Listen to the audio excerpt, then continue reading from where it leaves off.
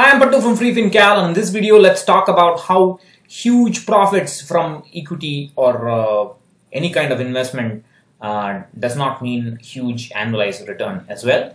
Uh, in the last video I talked about how uh, insurance policies exploit the idea of time value of money and provide us with uh, very poor returns. This idea of time value of money is also uh, embedded into market linked instruments and we are going to look at uh, what I call as the Sensex staircase to understand uh, the uh, statement written there 600% profit but only 10% return. So this is the Sensex daily price chart. Uh, this is the closing price. The dividends are not included. The dividends would uh, make this chart move up a little bit. Uh, but if you look at this, it kind of gives you an impression uh, this is the price versus the date, it kind of gives you the impression, look how much the Sensex has zoomed up uh, in the 2000s and, and then after 2014 onwards it's zoomed up further and so on. Uh, this is a wrong impression because you're looking at uh, this chart in a normal, uh, you know, you know, you're just looking at the price versus date. Instead of that, you should use what is known as the logarithmic chart. So you should take the logarithm of this um, price and if you did that, the graph would look like this. It will look, uh, uh, I've used the logarithm to the base 10 or log 10 as it's called. And the advantage of doing that, there's nothing, uh, um, I mean, there's the same graph, it looks quite different. But uh, what has happened is that you notice that the details in this region, in the earlier part, uh, was, uh, you know, was kind of subdued because of the huge increase in the later time. But when you plot it in the logarithmic scale, notice that the earlier details have been pulled out and kind of the uh, newer uh, or the recent uh, development has been kind of subdued out. But uh, there is a one great um, importance that comes out by using the log scale and that is this growth from let's say 2 to 2.5 is exactly the same as the growth from 2.5 to 3 or 3 to 3.5. So every 0.5 width uh, uh, you know the uh, uh, gap or the rectangle in the vertical axis that you see that all those rectangles have the same height and they represent the same growth. We can see how this helps us understand the nature of uh, equity investments in the next slide. So now have a look at this center uh, region first. This is the growth of the Sensex right from here. This is 3 in the logarithm to about uh, 3.7 in the logarithmic scale. This is the uh, uh, the huge growth in the Sensex because of the Harshad, primarily because of the, the bull run generated by the Harshad Mehta scam and associated stocks moving up, more or less like a domino effect. Uh, this huge increase happened in 450 days. That's like about um, a year and uh, three, four months. Just 450 days.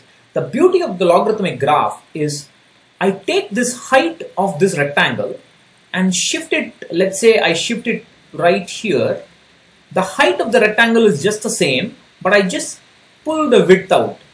And this, the growth from this point here to this point here, this has got a height or a, of this much. This height is the same as the height in this in the early 90s due to the Harshad Mehta uh, uh, scam. So the Harshad Mehta scam saw an increase in the market over a period of 450 days.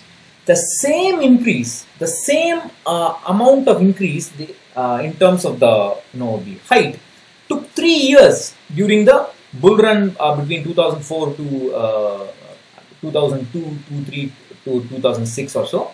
It took three years and after the market crashed in 2008, it took 9.5 years for the same kind of increase. So from this point, right at the bottom, just before the uh, Lok Sabha election and the Congress was re-elected, uh, and just so 2009 elections, from that point, it took nine and a half years to get there. The same height. So the height of this rectangle, all the rectangles that you see are the same. So the height of this rectangle is the same as the height of that rectangle. So a 450 growth, day growth uh, it took 9.5 years. And again, before the Harshad Mehta scam, the same kind of growth about took about five years in the 80s. So just imagine the kind of feeling uh, that a person would have got while they were investing during the scam. The, the market got just zoomed like anything. Uh, you when it happens over nine and a half years, you don't feel that. You don't feel like uh, in, initially it had zoomed up, but then after that it moved up, went down, moved up, went down, and so on. The same. So that's the, that's what I'm uh, trying to convey, and that's the power of the logarithmic graph. It teaches you time value of money in just one slide. So uh, just imagine how people in this uh, in this time would have felt and how they would have felt when it fell down. You can also um, find out this fall and this fall uh, how you can actually um, uh, you know measure this fall and and compare this with this fall. You can actually pause the video and you can measure it. For example, this uh, so all these smaller grids that you see they're all the same. So that's like uh, one, two, three, and a little bit more than three, and this is one two, three, and a little bit, uh, almost four. So it's like almost exactly that uh, height uh, as as the, the 2008 fall was just about comparable or a little bit more than the Harshad Mehta fall. But you don't see that when you plot the graph uh, in, in, the Sensex K uh, in the in the normal uh, you know normal price chart like the way we usually see. So that's the power of the logarithm. It, it, it, it pulls out the data and makes them equally spaced so that uh, every uh, rise or fall can be compared uh, so very nicely. There's also one thing that you can do, and this is what I call as the Sensex staircase. So you can see that uh, from this point to that point, it took about a few years. So there was a few years of sideways market, then the market moved up, few years of sideways market, then the market zoomed up, then almost a decade of sideways market up, and then a few years, uh, then it moved up, and then so that's the kind of um, um, you know uh, up and uh, down movement that you have in the equity market. That is, the market zooms up and then it does nothing. Just the, the price just goes around uh, about the same point and then it moves up on the. So you need that patience. This is where people get impatient. The people are worried about crashing. The during an investment, especially when you have many years before you need the money, the biggest enemy is the sideways market, where nothing happens. You won't get any return. It looks like uh, the market is going nowhere and then if you if you just wait wait wait wait and then it will move up you got to wait if you can provided your goals are very far away uh, you got to wait before it zooms up if you get tired of it and pull out or not invest money uh, then uh, then you lose that uh, growth so this is the kind the sideways market is a perfect time to uh, invest more money i had already written that this is again uh, if you look at the recent data I think this is always uh, another sideways kind of market developing unless it crashes further or moves up. At least in the large caps, there's a kind of sideways market developing. In the mid caps and small caps, I think it's fallen down much more. So that's the staircase that I'm talking about. The next step may take years to come. So it's like you're the same level for years, and then it moves up. Then same level, then it moves up, and so on. And again, you can see that uh, so much more clearly in the uh, logarithmic chart. So let's get to, uh, okay, you can also do a uh, logarithm of the date. Of course, it will be a little difficult to do it, but if you do a logarithm of the date, then what happens is this gap, so the uh, height of the rectangle and also the uh, width of the rectangle, every one represents, uh, everything is, is the same uh, time period. So this width, so it's like 1, 2, 3, 4 and almost 5 uh, widths and this, this sideways market took uh, like two and a half widths and so on. So you can also measure the widths by using a log log plot but of course that's, that's a bit of an overkill in terms of analysis for equity. But if you're interested, if you're kind of a geek, you can try it and uh, get more insights about risk so let's get to the uh, example that I talked about in the opening slide. So let's say a man buys one unit of the Sensex, assuming it's possible. Just days before the Harshad Mehta scam broke on the 30th March of 1992, the index was about 4,000. Sensex was about 4,000. And uh, over the next 25 years, he says, I'm going to be invested no matter what. It's long term, I'll get a lot of money and also. Uh, and he held on to his investment. Of course, he got a lot of money, there's no question about it. But uh, on 24th March 2017, let's say the index was 29,400 and uh, he checked his returns. So the actual profit was like, it was like 619% increase. The money has increased 690. That's a huge absolute profit. But if you look at the annualized return, uh, before including dividends, it was about 8%. So it's only 8%. I asked this question uh, in all my talks. I even asked this in the Facebook group, Asan Ideas as Um, 600% profit, how, what is the annualized return over 25 years? And there all sort of answers. People say 40%, 35%, 25%, but they do not understand that uh, it could be as low as 8%. Of course, the dividends have to be included. Dividends can be anywhere between 1.5 to 2%. If you include that, then I will argue that you also also have to include expenses because you cannot just buy a unit of the Sensex without uh, paying money to somebody. Then there, there is also the possibility of tax now. So that dividend uh, of 1.52% will almost get erased. So you will be will be getting anywhere between 8 9% uh, over this period. 600% profit but only 8 9% returns. Immediately it sounds uh, you know unbelievable, but that's because of time. And you can see that in the graph I'll show you. There's one more example. Uh, the Sensex closed on 4,000, around 4,000 on uh, February 22nd, 94, and was again 20,400 uh, February 2014. Again, this is like a 400% increase or a 5 times growth or a 5x growth. You might call that a multi-bagger. But the annualized return is only 8% before dividends. So it's again you 8 9% after dividends and tax and so on, expenses and so on.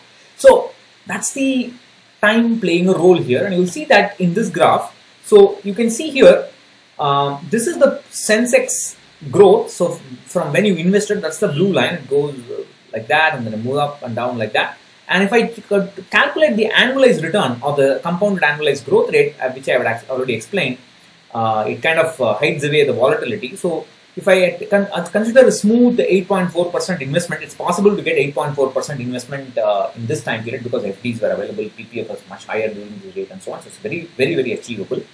So actual compounded smooth journey was like this.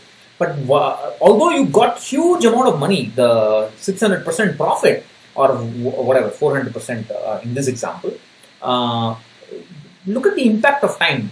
Over almost nine years, the money was more or less at the same value. Over nine years, nothing happened. Whereas, whereas the smooth uh, increase in the compounded uh, examples had gone up that much. And then it zoomed up it overshot the smooth investment but fell back down again with respect to the uh, investment and then it moved up and then kind of uh, merged out. So that is the time playing the role.